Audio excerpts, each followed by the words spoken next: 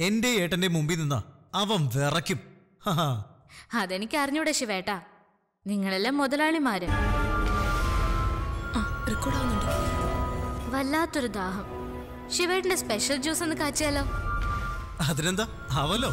ഇപ്പൊ കൊണ്ടുവരല്ലോ നല്ല മധുരത്തിലായിക്കോട്ടെ. ആയിക്കോട്ടെ.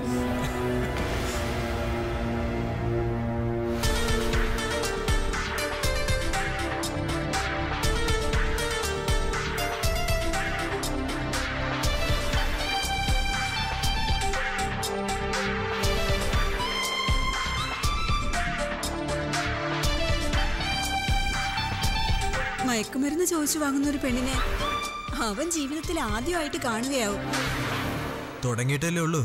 രണ്ടെണ്ണം പൊട്ടിയും കൂടെ ചെയ്തിട്ട് ഞാൻ ഇവിടുന്ന് പോകും. ആ പറഞ്ഞതിന് നൂറിൽ നൂറ് മാർക്കാ. പെണ്ണിന്റെ കൈയുടെ ചൂട് ഞാനും അവനെ ശരിക്കും അറിയിക്കും. ജീവയുടെ ഫാൻസ് വെറും മണ്ടന്മാരും മണ്ടികളും അല്ലെന്ന് അവൻ ഇന്ന്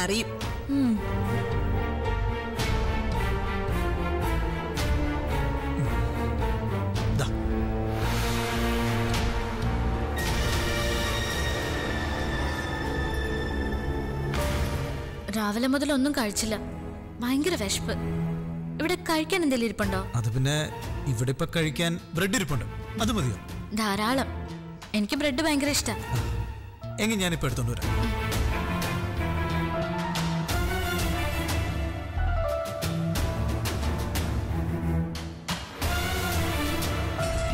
ഇനിയാണ് കീർത്തിയുടെ ആക്ടിംഗ് എബിലിറ്റി അറിയാൻ പോകുന്നത്. അവൾ പൊളിക്കും ബ്രോ. നാളത്തെ ലേഡി സൂപ്പർ സ്റ്റാർ അവന്റെ ഐറ്റം അല്ലേ?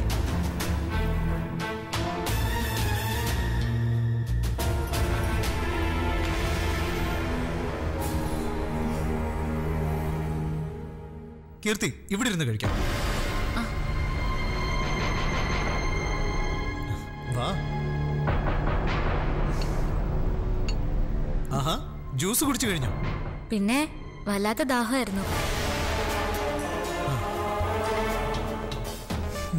കഴിക്ക്.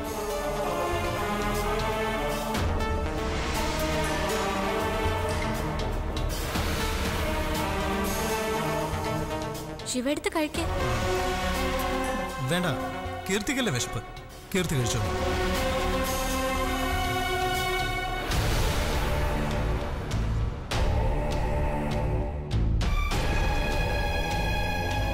ഓം ശ്രീ മഹാഗണപതേ നമ. ഓം ശ്രീ മഹാഗണപതേ നമ. ഓം ഹൈം ക്ലീം സ്വാഹ.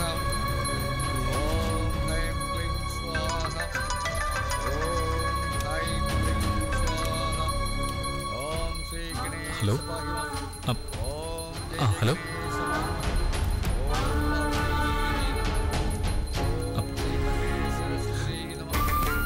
അച്ഛമ്മേ ഞാനിപ്പോ വരാം.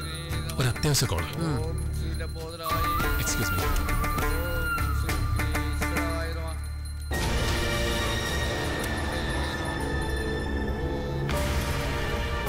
ആ ഹലോ. ആ പറഞ്ഞോളൂ. ഞെട്ടിച്ചോണ്ട് അയാളുടെ മുമ്പിൽ ഒന്ന് പ്രത്യക്ഷപ്പെട്ടാലോ? വേണ്ട കാവ്യ അയാൾ പ്രശ്നം ഉണ്ടാക്കും ഒരു പ്രശ്നം ഉണ്ടാക്കില്ല. അച്ഛമ്മയോടൊന്നും പറയരുതെന്ന് പറഞ്ഞ് അയാൾ കാൽ പിടിക്കും. നോക്കിക്കോ. പ്ലീസ് ഇപ്പൊ അയാൾ നമ്മളെ കാണണ്ട.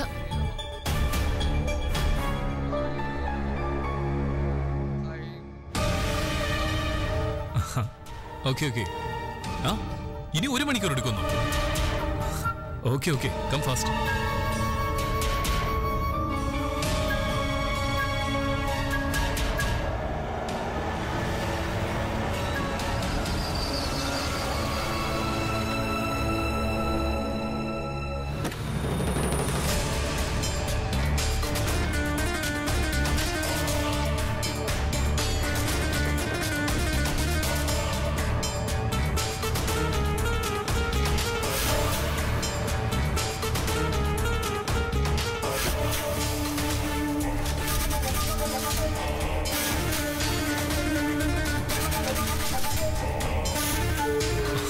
എന്താ ഇത്ര വൈകിയത്? നേരത്തെ എത്തണമെന്ന് ഞാൻ പറഞ്ഞു ജീവിതത്തിൽ ആദ്യമായിട്ടാ ഈ വൃത്തിയായിട്ട സാധനം ഞാൻ എടുത്ത് ചുറ്റുന്ന. എത്ര നേരത്തെ മെനക്കെടാന്നറിയോ? മര്യാദയ്ക്ക് നടക്കാനും വയ്യ ചൂട് സഹിക്കാനും വയ്യ. അച്ഛമ്മയെ ഒന്ന് ഇംപ്രസ് ചെയ്യിക്കണമെങ്കിൽ ഇതൊക്കെ വേണം. നിന്റെ മേക്കപ്പ് ഇത്തിരി ഹെവി ആയി പോയെന്ന് എനിക്ക് തോന്നുന്നു ഒന്ന് കുറയ്ക്ക്. ജീവ പ്ലീസ് എന്റെ കോൺഫിഡൻസ് കൂട്ടാൻ എനിക്ക് ഇത്ര വേണം. അച്ഛമ്മയ്ക്ക് അധികം മേക്കപ്പ് ചെയ്യുന്നവരെ ഇഷ്ടമല്ല നീതു. ഞാൻ ഇത്രയും കഷ്ടപ്പെട്ടിട്ടും അച്ഛമ്മയ്ക്ക് എന്നെ ഇഷ്ടമായില്ലെങ്കിലോ? ഇഷ്ടമായില്ലെങ്കിൽ പിന്നെ ഈ വിവാഹം നടക്കില്ല.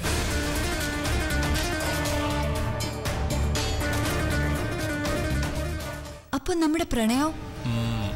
പ്രണയമല്ല ഫ്രണ്ട്ഷിപ്പ് അത് തുടരും.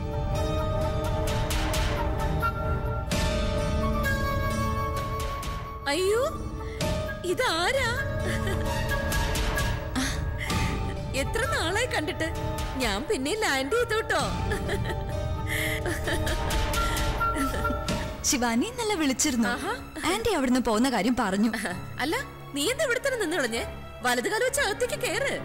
ജീവി നീ തമ്മിലുള്ള കല്യാണത്തിന് ഞാൻ ഇവിടെ എന്തെല്ലാം കാര്യങ്ങൾ പ്ലാൻ ചെയ്തിട്ടുണ്ടെന്ന് അറിയോ? നമുക്ക് തകർക്കാം ആന്റി. കം ജീവ. വാ മോളെ. ഓം ശ്രീ ലക്ഷ്മി ഓം അഷ്ടലക്ഷ്മീ ष्टैसिदायिन्य नमः। ॐ श्रीमहालक्ष्म्यै नमः।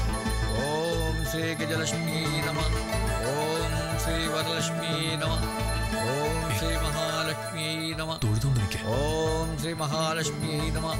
ॐ श्रीगजलक्ष्म्यै नमः। ॐ श्रीवरलक्ष्म्यै नमः। ॐ श्रीमहालक्ष्म्यै नमः। ॐ देवी पञ्चभूतायै नमः।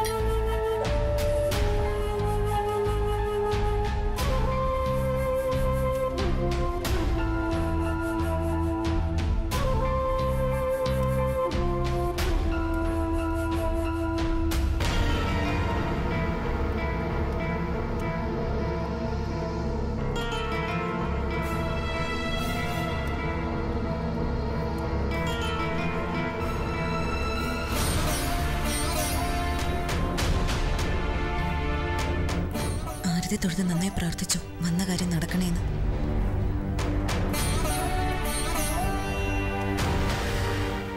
ഇനി എല്ലാവർക്കും ഈ എഴുപത് തികഞ്ഞ ധന്യാത്മാവിൽ നിന്ന് അനുഗ്രഹം വാങ്ങാം.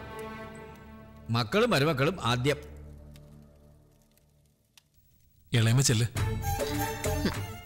ചെല്ല് ഇളയമ്മേ. അനുഗ്രഹം തരും അമ്മേ. ഇങ്ങനെയല്ല. അമ്മയുടെ കാൽക്കൽ നമസ്കരിക്കണം. നമസ്കരിക്കളയമ്മേ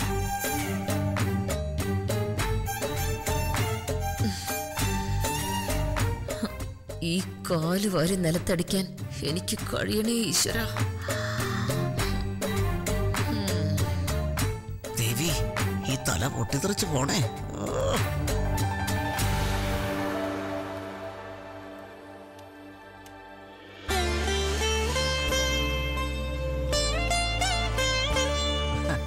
നന്നായി വരട്ടെ കണ്ണ. അച്ഛമ്മയുടെ കാലത്തോട് നമസ്കരിക്കേ. അനുഗ്രഹം വാങ്ങിക്ക. ചെല്ല്.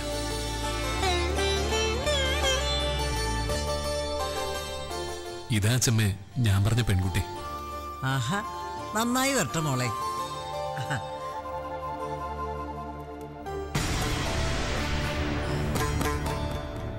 ഇനി മറ്റു ബന്ധുക്കൾക്ക് അനുഗ്രഹം വാങ്ങാം. പ്രായം എഴുപതിൽ താഴെയുള്ള എല്ലാവർക്കും വന്ന് അനുഗ്രഹം വാങ്ങാം.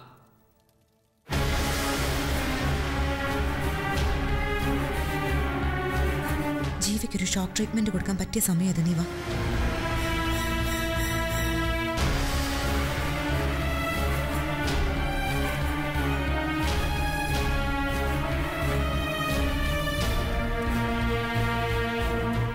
നന്നായി വരട്ടെ. എന്താ ജീവ? ഏയ് ഒന്നുമില്ല. ആഹാ മോളെ നീ? അമ്മേ ഇത് എന്റെ ഒരു അനിയത്യ സുമംഗലിയാവാൻ ഇവൾക്ക് അമ്മയുടെ അനുഗ്രഹം വേണം. ഹ, ശരി മോളെ. ദീർഘസുമംഗലി ഭവ.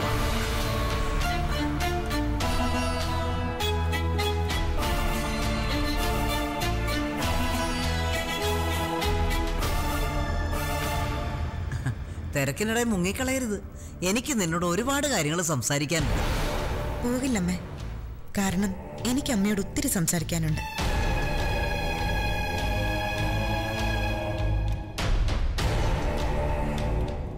മോൾ ഈ വീടൊക്കെ ഒന്ന് ചുറ്റിക്കാണ്. അപ്പോഴേക്കും ഞാൻ നിന്റെ അടുത്തേക്ക് വരാം. ആ.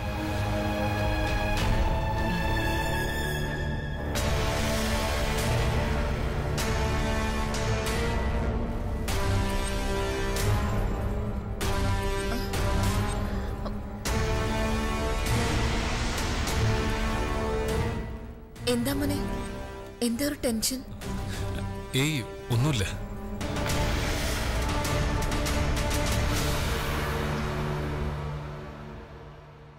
വല്ലാതെ ഉറക്കം വരുന്ന പോലെ ശിവേട്ട. ഈ വീട്ടിൽ വന്ന എപ്പോഴും ഇങ്ങനെയാ? അത് ഇവിടുത്തെ പ്രകൃതിയുടെ ഗുണമാണ് കായലും മരങ്ങളും തണുത്ത കാറ്റും ഉറക്കം ക്ഷണിച്ചു വരുത്തും. അന്തരീക്ഷത്തിൽ ശുദ്ധമായി മാത്രമല്ലേ ഉള്ളൂ.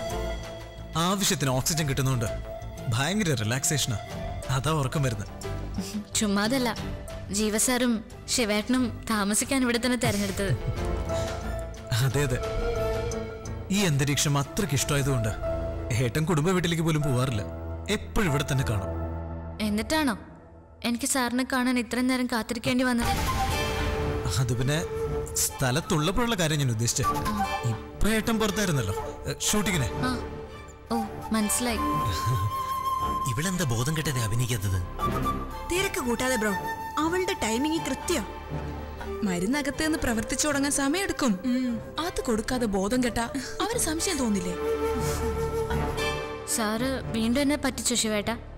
കാണുന്നില്ലല്ലോ. എന്താ ഇത്ര ധൃതി? എന്റെ ഒപ്പം സംസാരിച്ചിരിക്കാൻ ഒരുപാട് ഇഷ്ടമാണെന്നല്ലേ കീർത്തി പറഞ്ഞേ? അതൊക്കെ ശരിയാ. എന്നാലും ജോലിയുടെ കാര്യത്തിന് വേണ്ടിയല്ലേ വന്നത്? ജീവസാറിനെ കാണാതെ തിരിച്ചു വേണ്ടി വരുമെന്ന് എനിക്കൊരു പേടി. ജോലി പോയതോടെ കുടുംബത്തിലെ കാര്യങ്ങൾ വലിയ കഷ്ടത്തിലാ ശിവേട്ട. ഒക്കെ ശരിയാവും. ഏട്ടനൊന്ന് വന്നോട്ടെ.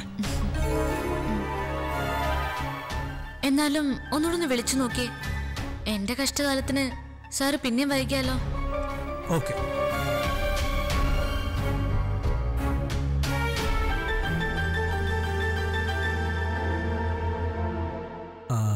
ഏട്ടാ കീർത്തി ഇവിടെ ഒന്ന് കാത്തിരിക്കുക ഏത് കീർത്തിന്നോ? ഞാൻ പറഞ്ഞിട്ടില്ലേ നമ്മുടെ ഓഫീസിൽ ഒരു കുട്ടിയുണ്ടെന്ന്. യെസ് യെസ് ആ കുട്ടി തന്നെ. ഏട്ടനെ കണ്ട് സങ്കടം ബോധിപ്പിക്കാൻ വന്ന?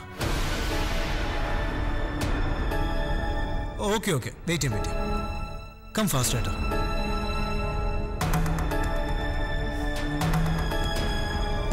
ഏട്ടൻ അഞ്ച് മിനിറ്റിനകത്തെത്തും.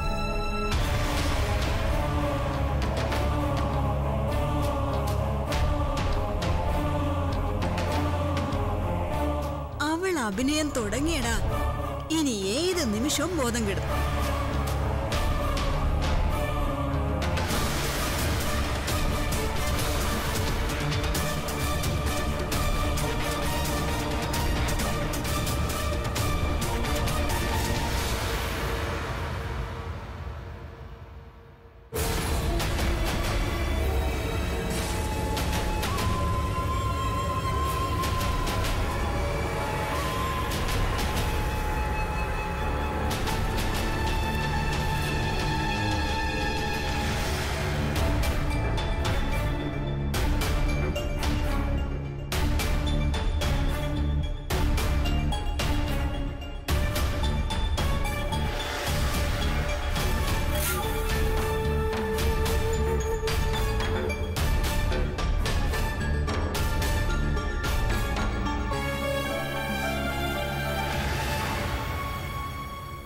ജീവ എന്താ ഒരുമാതിരി വെരുകിനെ പോലെ അങ്ങോട്ടും ഇങ്ങോട്ടും നടക്കുന്നേ? കം എനിക്കാകെ ബോറടിക്കുന്നു. ഒരു ഡാൻസ് പാർട്ടി പോലും അറേഞ്ച് ചെയ്യാത്ത എന്താ ഡാൻസും പാർട്ടിയും ഒക്കെ ഇവന്റെ അച്ഛമ്മയ്ക്ക് പറഞ്ഞിട്ടുണ്ടോ മോളെ? കാശ് എത്ര കയ്യിലുണ്ടെന്ന് പറഞ്ഞിട്ടെന്താ? സ്വഭാവം പട്ടിക്കാട്ടുകാരിയുടെയാ. ഐ നോ ആന്റി എന്ത് ചെയ്യാനാ? ജീവ അവരുടെ ഒബീഡിയൻ സെർവന്റ് ആയി പോയില്ലേ സഹിച്ചല്ലേ പറ്റൂ. No loose talks here Neethu അച്ഛമ്മയെ പരിചയപ്പെടാനും അച്ഛമ്മയുടെ പ്രീതി പിടിച്ചു പറ്റാനും വേണ്ടിയാ നീ ഇവിടെ വന്നെന്ന് മറക്കരുത്.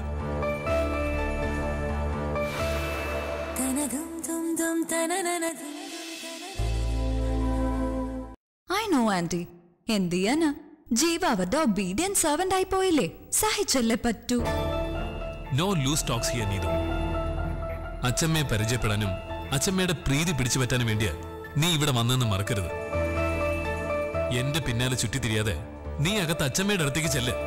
ഇളമേ പ്ലീസ് ഹെൽപ്പ് ഹർ അല്ലെങ്കിൽ വേണ്ട. കം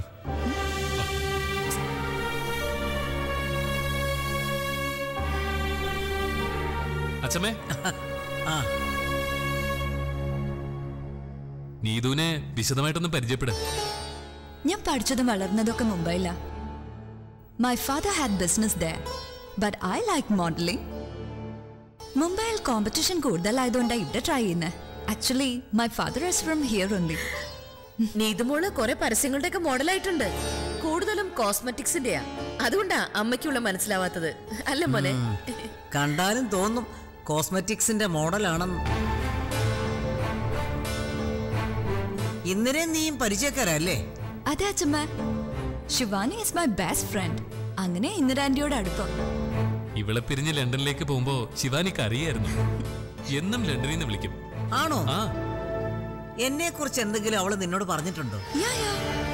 അച്ഛമ്മ എന്ന് പറഞ്ഞ ജീവനല്ലേ അവൾക്ക്? പിന്നെ പറയാതിരിക്കുക നിങ്ങൾ സംസാരിക്കും. ഞാൻ ഇപ്പൊ വരാം.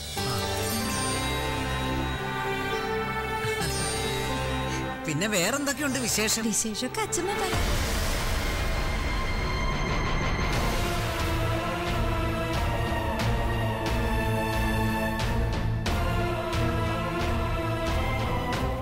എന്തിനാടി വവ്വാലെ? ഇവളെയും കെട്ടിയെടുത്തോണ്ട് ഇങ്ങോട്ട് വന്നത്? ഇവിടെ ഒരു മംഗളകർമ്മം നടക്കുന്ന ദിവസമായിരുന്നു മംഗളകരമായ കാര്യം തന്നെയാ ഞങ്ങൾക്ക് സംസാരിക്കാനുള്ളത്. നിങ്ങളുടെ അച്ഛമ്മയോട് അത് പറഞ്ഞിട്ട് ഞങ്ങൾ വേഗം പൊയ്ക്കോളാം. അച്ഛമ്മയോട് എന്ത് സംസാരിക്കാനുണ്ടെന്ന് നീ പറയുന്നത്? നമ്മൾ തമ്മിൽ കണക്കുകൾ ഒരുപാട് തീർക്കാനില്ല മിസ്റ്റർ ജീവ? ഏയ് നമ്മൾ തമ്മിൽ ഒരു കണക്കുകളും തീർക്കാനില്ല. നീ എന്നെ എന്റെ ലൊക്കേഷനിൽ വന്ന് ഇൻസൾട്ട് ചെയ്തു. അന്ന് രാത്രി ഞാൻ ഫോൺ വിളിച്ച് നിന്നെ കുറെ ചീത്ത വിളിച്ചു. അതോടെ കണക്കൊക്കെ കൃത്യമായില്ല? ഇല്ലല്ലോ മിസ്റ്റർ ജീവ. ലൊക്കേഷനിൽ ഞാൻ എത്തിയത് എന്തിനു വേണ്ടിയാണെന്ന് നിങ്ങൾ മറന്നോ?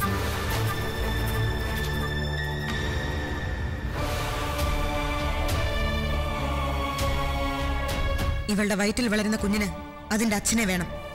ആദ്യം തീർക്കേണ്ടത് ആ കണക്കാ.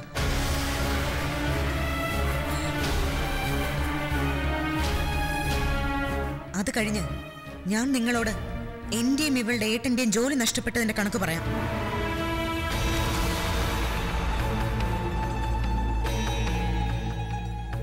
പ്ലീസ് നഷ്ടപ്പെട്ട ജോലി ഞാൻ തിരികെ വാങ്ങിത്തരാം. ഇവളുടെ കാര്യം നമുക്ക് പിന്നീട് സംസാരിക്കാം.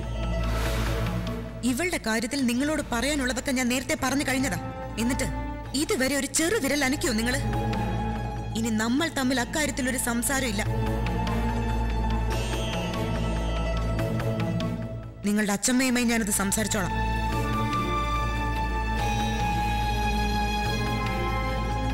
എട്ടും പൊട്ടും തിരിയാത്തൊരു പെൺകുട്ടിയെ ജ്യൂസിൽ മയക്കുമരുന്ന് കലർത്തിക്കൊടുത്ത് ക്രൂരമായി ബലാത്സംഗം ചെയ്ത ചതിയന നിങ്ങൾ. എന്നിട്ടും അനുസരണയുള്ള ആട്ടിൻകുട്ടിയെ പോലെ അച്ഛമ്മയുടെ വിധേയനായി നിൽക്കുന്നത് ഞാൻ കണ്ടു.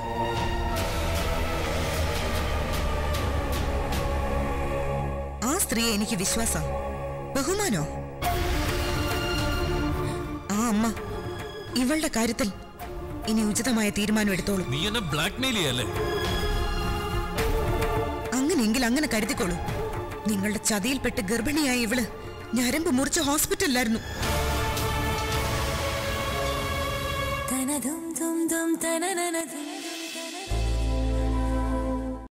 നിങ്ങളുടെ ചതിയിൽപ്പെട്ട് ഗർഭിണിയായ ഇവൾ ഞരമ്പ് മുറിച്ച് ഹോസ്പിറ്റലിലായിരുന്നു. ഇവളുടെ പ്രഗ്നൻസിയിലും ചില കോംപ്ലിക്കേഷൻസ് ഉണ്ട്. ഇവൾക്ക് നീതി കിട്ടിയേ പറ്റൂ. അല്ലാതെ ഞങ്ങൾ ഇവിടുന്ന് പോവില്ല. ഇതൊക്കെ കള്ള കഥകളാണ്. ജീവിതത്തിൽ ഇന്ന് വരെയും ഒരു പെണ്ണിനെ മോശമായിട്ട് നോക്കിയിട്ട് പോലുമില്ല. ഇല്ല നിങ്ങൾ എന്റെ മുഖത്ത് നോക്കി പറയാൻ എന്നെ നശിപ്പിച്ചിട്ടില്ലെന്ന്. ഇല്ല ഇല്ല ഇല്ല. നിന്റെ ദേഹത്ത് ഞാനൊന്ന് തൊട്ടിട്ട് പോലുമില്ല. ഇയാളോടൊന്ന് സംസാരിച്ചിട്ട് ഒരു കാര്യമില്ല അഭിനയ പ്രതിഭയല്ലേ? പച്ചക്കള്ളം മുഖത്ത് നോക്കി വിളിച്ചു പറയാൻ ഇയാൾക്ക് ഒരു ഉളുപ്പും കാണില്ല. ഏതെങ്കിലും സിനിമയിലെ രണ്ട് കഥാപാത്രങ്ങളായിട്ടാവും ഇയാൾ നമ്മളെ കാണുന്നത്. എന്നെ പരിഹസിച്ചോളൂ. തൃപ്തിയാവും വരെ എന്തും പറഞ്ഞോളൂ. പക്ഷെ ഇന്നിവിടെ കൂടിയിരിക്കുന്നത് എന്റെ അടുത്ത ബന്ധുക്കളാ. അവരുടെ മുന്നിൽ വെച്ച് ഇല്ലാ കഥകൾ പറഞ്ഞ് എന്നെ അപമാനിച്ച നിന്നെ ഞാൻ വെറുതെ വിടില്ല.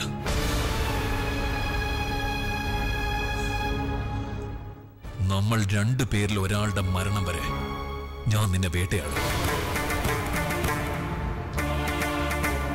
നിങ്ങൾക്കുണ്ടാവാൻ പോകുന്ന അപമാനത്തിന് മാത്രമേ വിലയുള്ളൂ. നിങ്ങൾ കാരണം വീട്ടുകാരുടെ നാട്ടുകാരുടെ മുമ്പിൽ ആജീവനാന്തം തല കുറിച്ച് നിൽക്കാൻ പോവാ ഇവൾ.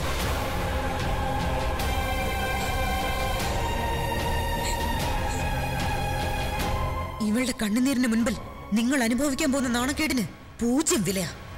വെറും ബിഗ് സീറോ ഇത്രയും നേരം ഞാൻ നിന്റെ മുന്നിൽ താണു. സാമം ദാനം ഭേദം വരെ കഴിഞ്ഞു. ഇനി ദണ്ഡോ രണ്ടിനെയും തൂക്കിയെടുത്ത് കളയാൻ എനിക്ക് കൈയൊന്ന് ഞൊടിക്കുന്ന നേരം മതി. അത് വെറും തോന്നലാണ് മിസ്റ്റർ ജീവ. നിങ്ങളൊന്ന് കൈ ഞൊടിച്ചാൽ ഓടിയെത്താൻ നിങ്ങളുടെ ഭൂതഗണങ്ങൾ ഒരുപാടുണ്ടാവും. പക്ഷേ അമ്മേന്ന് ഞാനൊന്ന് നീട്ടി വിളിച്ചാൽ എന്റെ അടുത്ത് പാഞ്ഞെത്തുന്നത് നിങ്ങളുടെ അച്ഛമ്മയായിരിക്കും. അവരുടെ ചൂണ്ടുവിരലിന് മുമ്പിൽ നിങ്ങളും നിങ്ങൾ വളർത്തുന്ന കിങ്കരന്മാരും വിറച്ചോണ്ട് നിൽക്കുമെന്ന് ഞാൻ മനസ്സിലാക്കി കഴിഞ്ഞതാ. അതുകൊണ്ട് കൂടുതൽ അഭ്യാസങ്ങളൊന്നും എന്നോട് വേണ്ട. എത്രയും വേഗം ബന്ധുക്കളെ ഇവിടുന്ന് പറഞ്ഞുവിടാൻ നോക്ക്. ഞങ്ങൾക്ക് സങ്കടം പറയാനുള്ളത് നിങ്ങളുടെ അച്ഛമ്മയോട് മാത്രം. വേഗം അകത്തേക്ക് ചെല്ല്. അധിക നേരം ചെറുമകനെ കാണാതിരുന്നാലേ അച്ഛമ്മ ചിലപ്പോ തിരക്കി വന്നെന്നിരിക്കും എന്നെ കണ്ട വിശേഷം തിരക്കാൻ അടുത്തേക്ക് ഓടി വരും. ഞാൻ വല്ലതും പറഞ്ഞു പോയാ നിങ്ങൾക്കുള്ള ശിക്ഷ വിധിക്കുന്നത് വേണ്ടപ്പെട്ടവരുടെ മുന്നിൽ വെച്ചാവും.